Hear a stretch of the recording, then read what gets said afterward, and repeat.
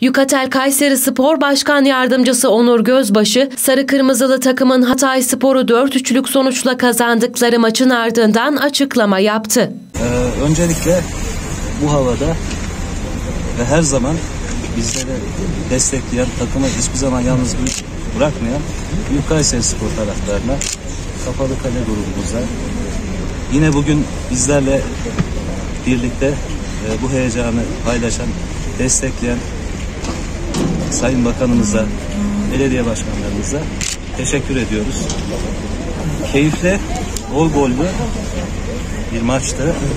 Güzel futboldan dolayı teknik direktörümüzü, Hikmet hocamızı ve bütün oyuncularımızı da tebrik ediyoruz. Arkadaşlar, Kayseri Spor şu anda son transferlerimizle birlikte kadro derinliği bakımından ligin en önemli takımlarından biri haline geldi.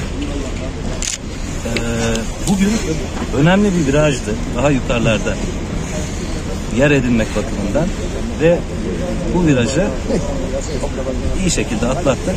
Önümüzdeki günlerde üzerine koyaraktan çok güzel futbol izleterekten daha yukarılara geleceğimiz konusunda inancımız tam. Bununla birlikte esas planlamayı önümüzdeki senelerde daha iyi konumlanarak yapacağımızı Sayın Başkanımız açıklamıştı.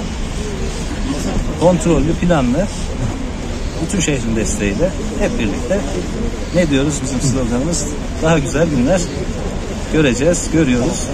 Emeğe katkısı olan sizler de dahil olmak üzere, bütün yönetim kurulumuz dahil olmak üzere herkese teşekkürler ediyoruz. Benim söyleyeceklerim şimdi bu kadar. Önemli iki maçımız var. Desteğe devam edelim. Peki ligde şu anda güzel bir istatistik yakaladınız. Ligin sonunda hedefiniz nedir? Sayın Başkanımız geçen hafta bu konuyla ilgili açıklama yapmıştı. Biz bu kadro derinliğiyle birlikte eksiklerimiz de geliyor. 11 kişi sahada olduğu zaman eksik yok da diyoruz. Önümüzdeki seneyi önümüzdeki seneleri en hızlı, en güzel şekilde değerlendirecek bir konumda bu seneyi bitireceğiz. Her şey güzel gidiyor arkadaşlar.